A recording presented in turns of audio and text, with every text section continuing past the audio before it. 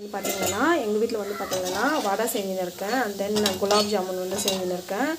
So இது வந்து இந்த பக்கம் வெந்துன்னு இருக்குது ஸோ அந்த இங்கே வந்து பார்த்திங்கன்னா பாக்கம் எடுத்திருக்கேன். இது வந்து வெந்த பிறகு இது போட்டுட்டேன் அண்ட் தென் ரைஸு இந்த பக்கம் வந்து பார்த்திங்கன்னா முருங்கைக்காய் சாம்பார் வந்து ஆயிடுச்சு.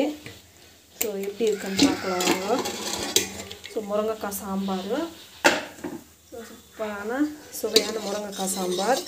ஸோ இன்றைக்கி வந்து பார்த்திங்கன்னா எங்கள் வீட்டில் வந்து நாங்கள் யூஸ்வலாக இப்படி பண்ணுவோம். அண்ட் தென் இதில் வந்து பார்த்திங்கன்னா மாங்காய் புளி உப்பு காரம் தீத்துப்பு எல்லாத்தையும் போட்டு ஒரு ஸ்பெஷலான ஒரு டிஷ் வந்து பண்ணுவாங்க. எங்கள் அம்மா வந்து பண்ணுவாங்க.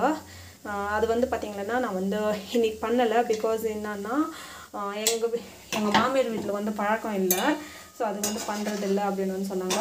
பட் அது நான் வெறும் ஸ்வீட்டு அண்ட் தென் ஸ்பைசி வந்து பண்ணியிருக்கேன் ஸோ இன்றைக்கி வந்து பார்த்திங்கன்னா ரொம்ப ந- ரொம்ப ரொம்ப நல்லாயிருக்கு எனக்கு ரொம்ப பிடிச்ச ஒரு ஃபெஸ்டிவல் ஸோ இது வந்து பார்த்திங்கன்னா எங்களோட ஸ்டைலில் வந்து நான் வந்து பண்ணின்னு இருக்கேன்.